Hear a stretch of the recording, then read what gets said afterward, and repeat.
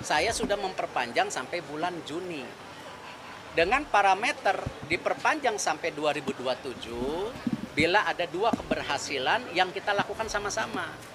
Kemarin alhamdulillah 16 besar lolos. Nah, tinggal kita tunggu lagi apakah kita bisa lolos kejuaraan ya AFC U23 8 besarnya. Ya kita tunggu. Dan saya rasa Ko Sintayong profesional, ya kita tunggu aja.